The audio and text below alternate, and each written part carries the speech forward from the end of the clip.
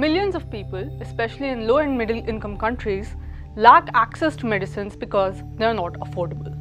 Despite significant technological advances made in the medical field, getting medicines to those who need them remains a major challenge. A recent report on global health expenditure from the World Health Organization found that on an average, more than 35% of health spending per country comes from out of pocket expenses, resulting in 100 million people getting pushed into extreme poverty each year.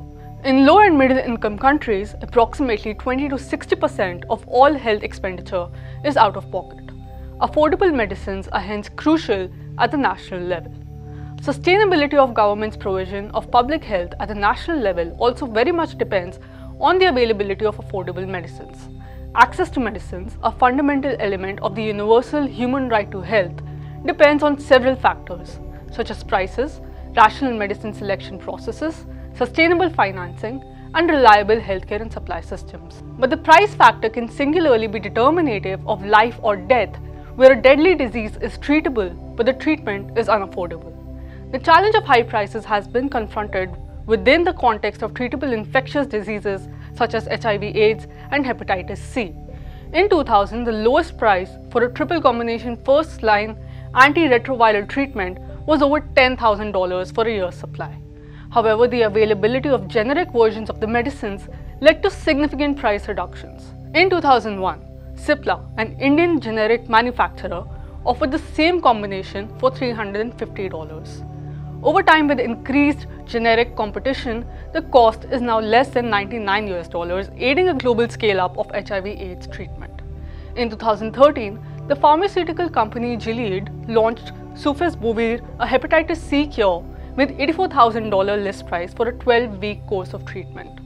In countries with robust generic competition, the prices dropped to less than 300 US dollars for the same treatment course, helping government to scale up treatment.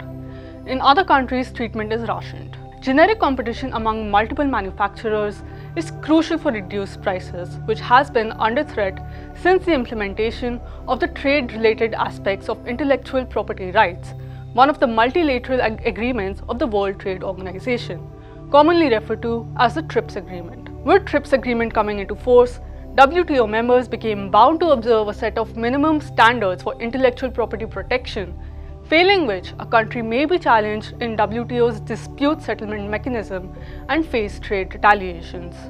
One of these minimum standards is the obligation to grant patents in all fields of technology, including pharmaceutical product patents, for at least 20 years from the date of filing of patent application. Prior to the TRIPS agreement, countries had freedom to design their national intellectual property regime under the Paris Convention. Countries could exclude entire fields of technology from protection, provide a short patent duration, and take steps to promote the competition in the pharmaceutical sector.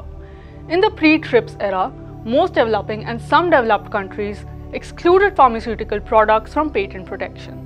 For instance, an amendment in 1969 to the Brazilian legislation declared pharmaceutical products and processes non-patentable.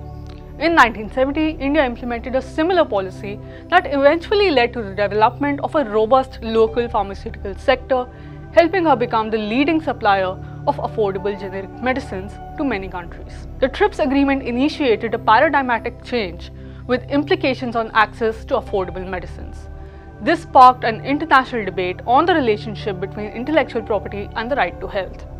Given the lack of access to a sustainable supply of affordable medicines for treatment of infectious and non-communicable diseases, intellectual property may aggravate this situation. The minimum 20-year patent protection required by the TRIPS agreement allows a pharmaceutical company a monopoly over the production, marketing and pricing of patent-protected medicines, thereby curbing competition and keeping prices high.